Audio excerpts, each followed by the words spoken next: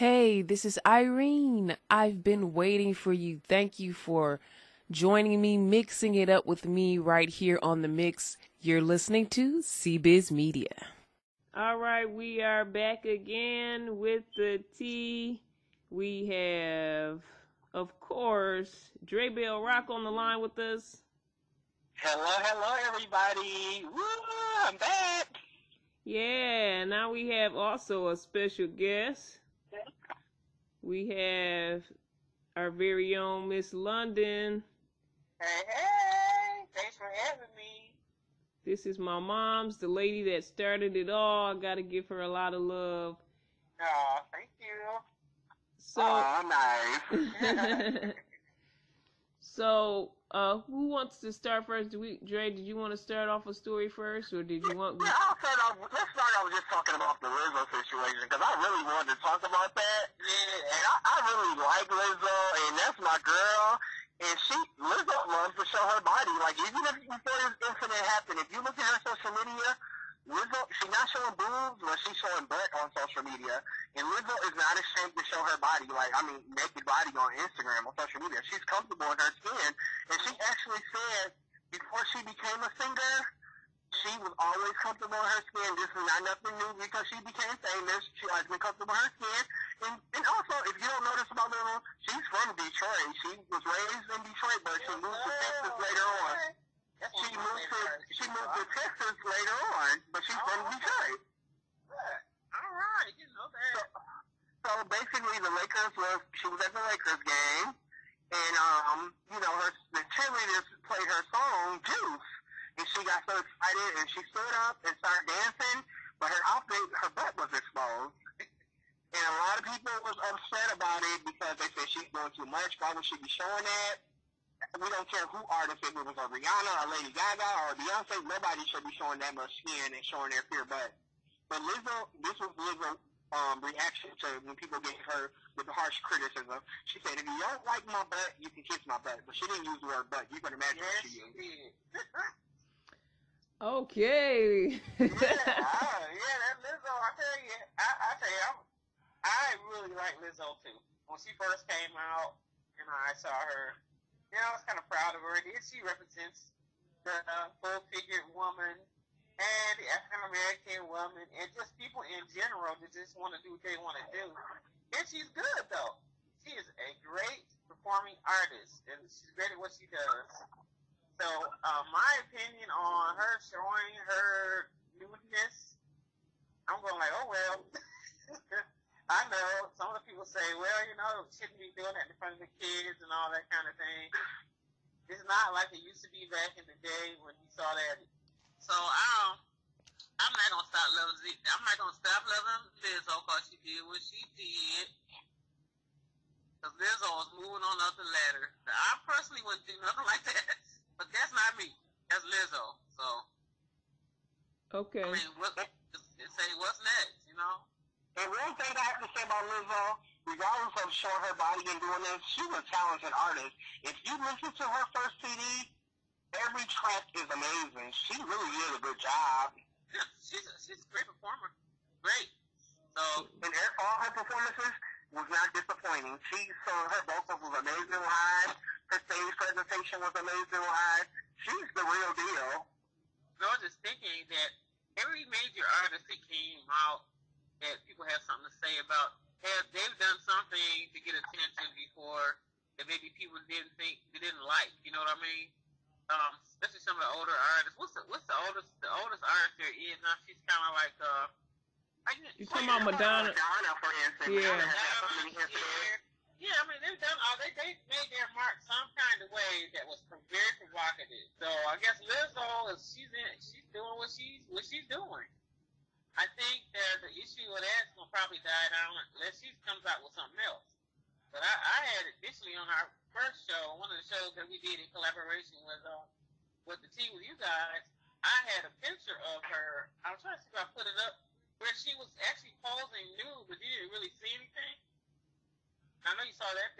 nobody said anything about that picture. Like, Yeah, it, Well, it's different because guys, she was like in a public arena where ki- where yeah, kids and chill where kids and children could have seen her like on her Instagram. Only her followers can see that usually. I'm sure it'll get leaked out because everything gets leaked out, but the fact that she was live in public and you can't unsee that, uh, I think it was like an a, a too much of an attention thing, and I feel like it. To me, it just seemed a little bit desperate to me. I feel like I I don't think that she even had to do that, and that's my But can opinion. I, can, can I ask you this? Um, on Real Loni Love, she's, when they were talking about it, all the other um, hosts were saying, oh, she's wrong, she's doing too much. But Loni Love said they are discriminating against her because she's a full-figure woman. If Yeah. she was a skinny girl doing this, they wouldn't have made a big deal about it. So how do y'all feel about that? I think Hmm. in part that's true. I kind of think that's true. But I think if she had been a, even maybe not quite a large, yeah. And you know what? It's like the more you have, the more you see, and people people get just it's more. you know what I mean? It's, it's you know. And, and sometimes people that have more body, it's provocative, and it might even look good, but people just have they get more attention. You know what I mean? Because uh, because it's more relevant and it's larger. A little skinny lady did it. Uh, they probably would have said something about it, but it wasn't a whole lot going on there. You know what I mean? Yes. So the Um, more you have to, to flaunt, the more people have to say. I think. well, like like Dre was saying, if Beyonce or Rihanna did it, I think it still would have been a reaction anyway, a negative reaction. But uh, yeah, I think it'll die down. But yeah, I I think it was a little desperate to me. I don't think that I Well, think I don't that think it's going to be detrimental to her career. I don't think it will. oh no, I, I think so. just I just It think yeah like it. yeah. I I, mean, they're advertising her next act. She, uh, she's in some movie, or is she in a movie or some other musical production? They've been advertising her the, the new things that she's got coming up. Yeah, I Oh, yeah, yeah, I haven't seen I haven't to see what seen anything else about it. I see them moving on to her being um I think she's supposed to be considered entertainer of the year and when a magazine is giving her that accolade and she's getting other accolades so the story seems to have died down a bit, but I don't know. They're they're looking more at what she's doing and her talent right now, So I but guess you're saying her talent, her talent and her gifts is outweighing what her what she did. It's outshining that, I guess. That's why I'm saying she didn't have to do it though, because I'm still a little bit mad at her because I feel like No matter. Yeah, I'm a little bit mad at her because I feel like it was it wasn't worth it. She didn't have to do that. I mean, if if she want to do that privately in her own home or on her own page or whatever, like that's that's her business. But to put it out there in front of everybody, But I, she I, definitely have shown her skin before this incident, so I don't know why they just kind of blew this up, because if you, re- like I said, her social media and some of her performances, Lizzo has been showing her butt. you are so you are right. You are right. But yeah, let's just go to But that, maybe the. that, at the Lakers arena, that wasn't the perfect place for her, no. I will say this: anytime you do something like that, you definitely gonna get. I mean, everybody's talking about it, so she just get more hot attention, and that's just blowing her up some more. So Yeah, I bet you her streams went up overnight after that incident, too, because when every celebrity do something, the music stream goes up overnight. right, you know, so they probably gonna buy her CD, they're gonna buy her music, they're gonna go online and buy everything about Lizzo. So she did that even more. You know, I I just think you know, a lot of publicity comes out of things like this. All right, guys. Now we had this lady on the phone named Londen, and Londen, can you kind of let everybody know who you are? I know I told them you my mom, but can you just give them? Can you just give them a little bit more information about who you are? I'm just uh independent um local producer here and not so local between two states of Michigan and Ohio and television, um, production, television shows, and we have an 80 Actors Club where we do film, act on television, YouTube, live plays. It's just a whole lot of things that we do as a group of, of people. We have a lot of nice people that's involved with our productions. Yeah, and I know uh, Dre also said that um you're you're working with him on another project too, so Oh, we're all collaborating together. So Yeah. Yes, I'm excited about that project. Yeah. That's gonna be so much fun. Great. What's the name of it? Backstage Inside Out. Yeah, I can't wait for this project. I'm so excited. And thank you for the opportunity. Oh yeah, I thought I, I thank you for doing it too. I I um thought that Dre Bell Rock would be perfect for the host of this program. We're gonna go out the box and talk about a lot of different things that go on in people's lives and just everything. Things that people don't talk about. And I just think Yeah, and I, I just can't wait because I'm a people person and I love people and I love to talk to people and just I just I just love people and I think this is just going to be an amazing show. I do too. We're excited, and we're actually planning on our very first show very soon. And we are also in the progress of looking for a, a really nice uh, set for it. We, we want a nice uh, entertainment Hollywood type of a set for Dre, and so that when we produce it, it'll have a real nice look. And we already have some guests that's coming along, so we're just we're just working with it and praying that it'll be an awesome, awesome show. I just know that it will.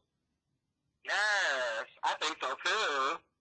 okay, And guys. just that that was a great idea for you coming up with this show, and I applaud you for that because that's just a brilliant idea for this show that you came up with. And the little introduction and the rollout that you um already presented on um that you presented on social media, I think is just amazing. Oh yeah, it's it's it, Dre. It's, it's in part it's because of you. You know, you gotta find the right people that'll be able to fill those shoes. So I looked at Dre and I said, you know what? I asked him and he said yes. I go, uh oh, we we on now. Yeah, we got Dre busy, and then he already busy with all his other projects as well. So, quickly, can you guys let everybody know how they can find you, how they can connect with you in any way, like um, any contact information you want to share, social media, etc. Okay, I'll start. Um, Dre Bell Rock on Facebook, D R E B E L R O C K, and Dre Bell Rock One, D R E B E L R O C K One on Instagram. So check it out. Follow me, and I'll add you as a friend on Facebook, or you can just follow if you want to keep up with my page. It's public, so check me out. Yep. Just like about me, I do that 800 number, but those that don't like to use the phone, the 800 number though is 800 875 0674. And then, um, but you can't go to Facebook. You can go to Twitter. You can also go to Messenger. Just put in Londen, Washington, L O N D E N, not L O N D O N, L O N D E N, Washington, and on Facebook, Twitter, and um, also on the Messenger. And if you want to call Messenger, you can call Messenger and leave a message, then we can hook up that way too. Whatever's easiest for you. Okay, can you give that one eight hundred number out one more time? 800-875-0674. We are we will be on blog too. So you can put uh Londen Londen Enterprise, you'll put us on the blog. So just about everything that we're doing as far as television and the acting and any videos or whatever, it's gonna end up on YouTube, but it'll go from the television to YouTube, Facebook, Twitter, and the blog.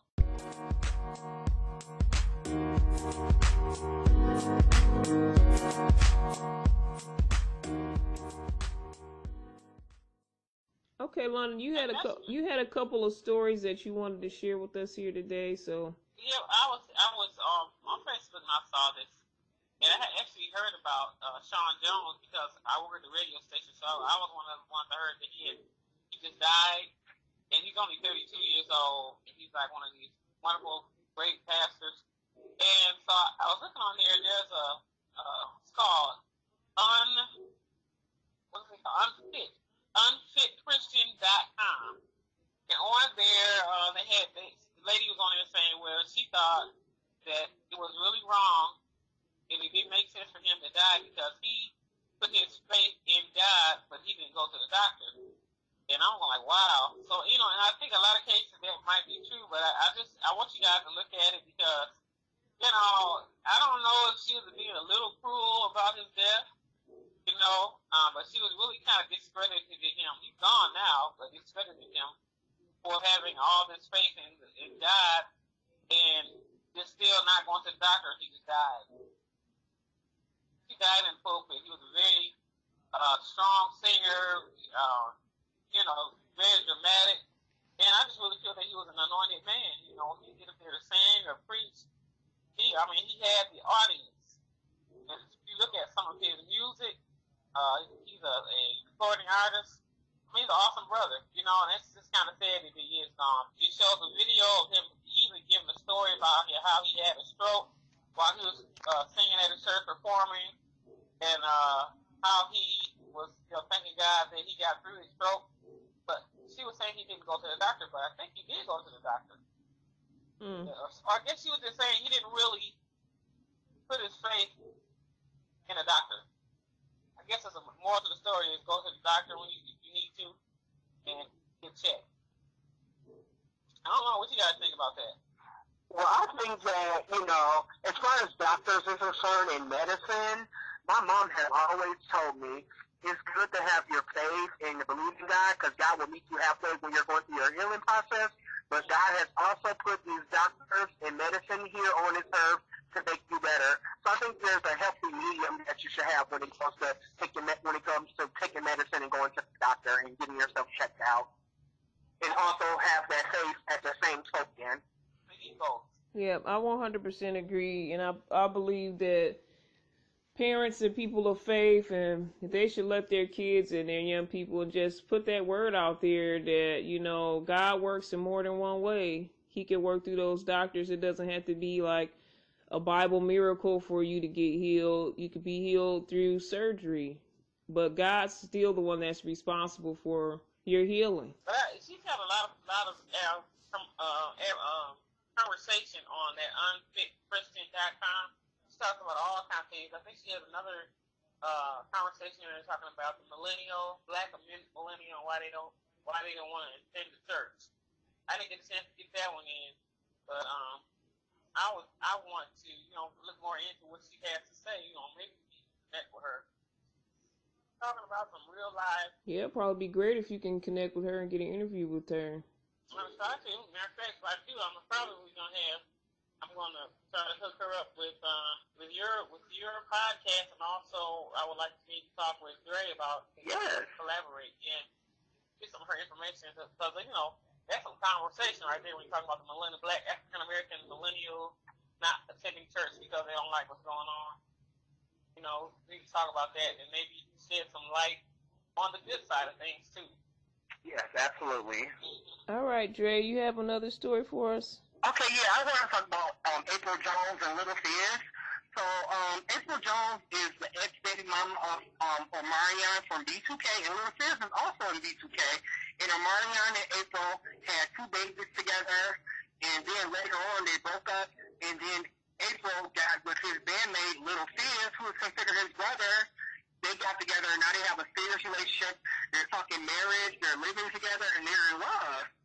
And a lot of people are looking at their relationship like, why would you talk to his brother, It's not a real brother, but a bandmate who's had kids with her? Why would you talk to her if you were in a relationship with his bandmate at first?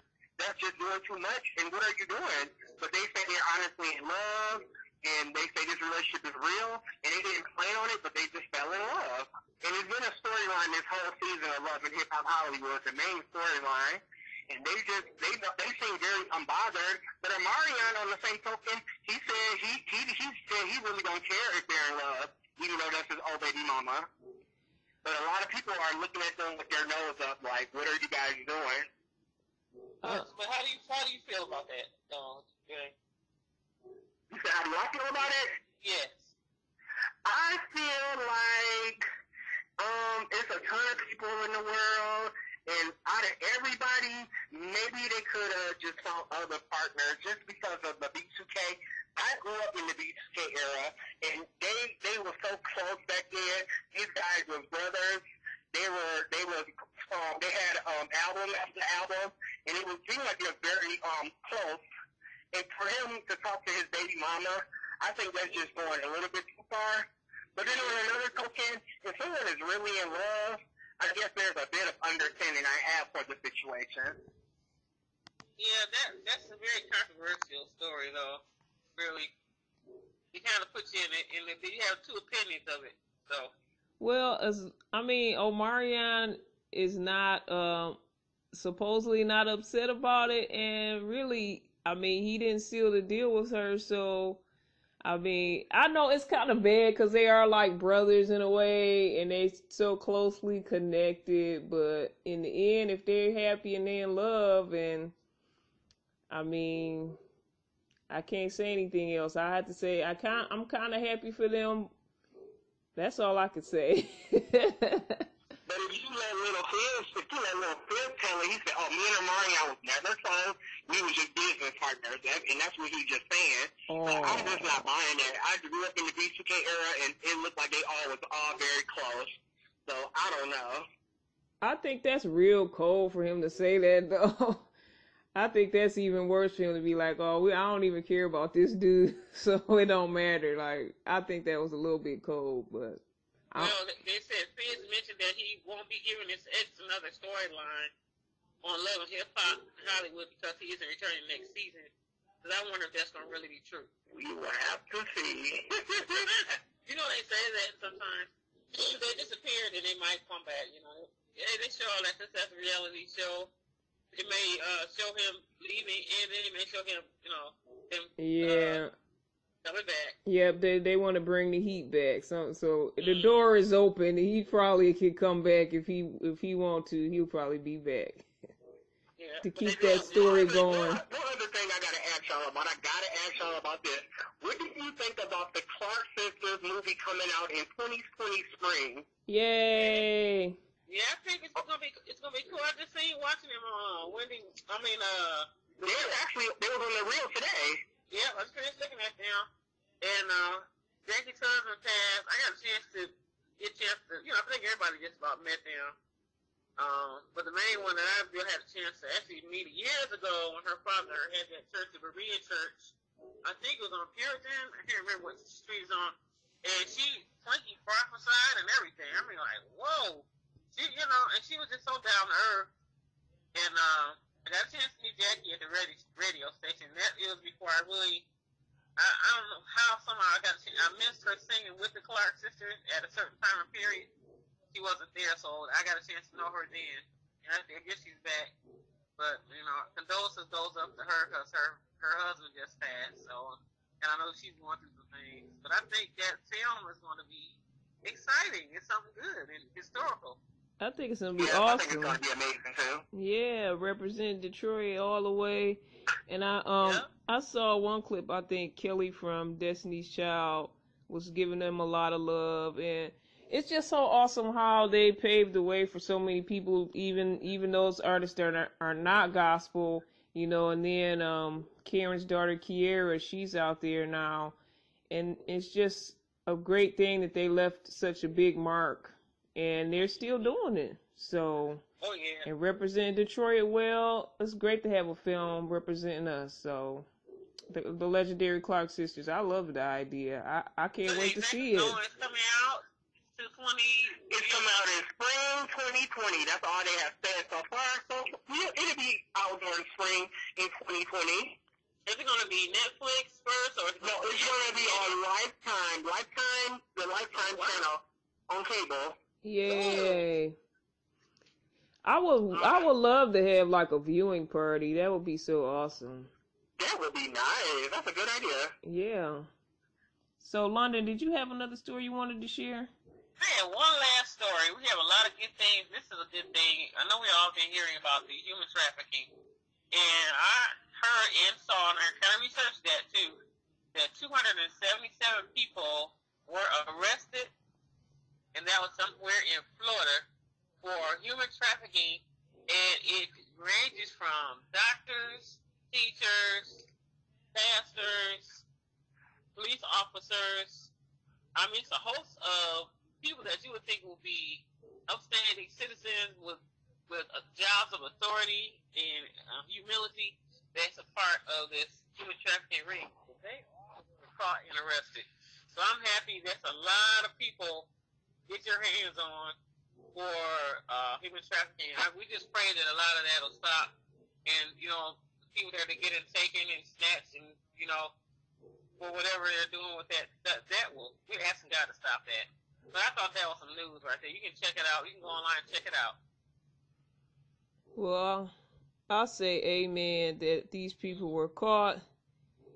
And it just like opened your eyes to the fact that there's some everyday people involved in this because you always thinking it's some type of creepy guy in the corner or Right, right. or somebody weird, you know. But it's like everyday people, police, uh, police officers, teachers, and all these people that you see every day. It's crazy. It's like an Like, eye opener. Pediatrics, pediatrics uh, was involved. You know, so now you, you you have to just keep your eyes open. Keep your, we all have to keep our eyes because it's not just for the children. It's not just for girls or the boys. It's for men and women. Because men and women. Yeah, this human trafficking thing has been going on for so long. They had this movie called Traffic with Paula Patton and Omar Epps, and it was talking about how women was getting trafficked in. And it actually had a police officer in the movie that was Mhm. helping with the trafficking the whole time. So Wow. maybe that's a little eye opener that this stuff has been going on in the media. That movie came out about maybe two or three years ago. But that just to let you know, they can put that in the movie, imagine what's going on in the real world. Real they got life, yeah. ideas for the movie. Wow. What's the name of that movie again? It's called Traffic. Okay. I'm probably gonna try to and it's got look at it. Paula Patton and Omar Omar Epps in it. Yeah, I remember when it came out. I was like, I want to see that, but then I kind of forgot. But yeah, I think Yeah, they. I saw it because it came on cable and I watched it. It was good too, but it just really let you get an eye into how they traffic people. Yep, and I tell you what, I think I think God can do anything. and I think just the Lord just let them people get caught. So I, I'm a believer, even though all this all this is going on and it's really bad, that He's going to help our communities and all this. What we're doing, talking, and it's all on Facebook and the news, and like I said, the movie. Brings people, uh, brings people to uh, Awareness. awareness Yeah. what's around them and their surroundings. Yeah, so we. Yeah, and I honestly think people get ideas from movies, just like when the movie Hustlers came out, and that was about J Lo and the dancers, and they was drugging the guys to get their money. Later on in the news, you heard about these young girls drugging these guys to try to get their money. Yep, I think you're also correct too. That's the that's the that's the other flip side of it. Some people just look at something and say, "Wait, I'm gonna try that." So people people are getting made aware, and then other people are getting educated on trying how to figure out how they can do the same thing. Uh-huh. Don't do it. Yeah. Yeah, don't don't take the information and turn it around the wrong way. and I'm praying for everybody out there that you know you, especially young people, and everybody, just really stay aware because it doesn't matter your age or anything like that. Because anybody could be attacked or. So we're just praying that everybody be aware. We're praying that it's just God's protection on everybody. God's protection on everybody. Amen. I'm looking for even more great things though, because God, in the midst of what the, the different things that's going on, God has so many great things that's been going on and that's going to happen. So I'm looking for a great 2020 for all of us. Amen. Yes, amen. Good words. And Dre's gonna be coming out with some music in 2022. Oh wow! Yes, that's the plan. That's the plan. that's my hidden passion. And I love singing and I love music and I'm a secret I'm a secret low key singer songwriter, so I'm gonna give it a go. I've been planning on doing this. I just always put it on the back burner. Which I hope, since he's going to do that, I hope that he would appear in uh, the music video that we plan to do next year too, called Side Effects. Yeah, I'm down. Yeah, we we, we want to make this this deal go down too. I did a music video. I did a music video um, earlier this year with my niece Trina Potts, the finesse queen. I was in the video, and it was a nice video. My brother Epson Farboy Bill produced the video, and it was a nice song and nice video. Where can we see it? So it's on YouTube. It's called Finesse Queen. Okay, we're gonna check that out. And also in 2020, I'm working on some merch to so everybody can get some merch from the Tea Podcast. So we're gonna have mugs and, and coasters and little things so you can enjoy your tea while you're listening to the tea. So that's gonna that's gonna come out in 2020. So look out for some fun merch, guys. Do we have any more stories, Dre? Let's see. I think that's about it for today. We got so much tea. Oh, the tea was boiling over. Really, and thank you, Miss Londen, for contributing to Thank you for having me too. to today's episode. And we love you guys. Happy holidays. God bless Happy you. holidays. Happy holidays. And see you in 2020.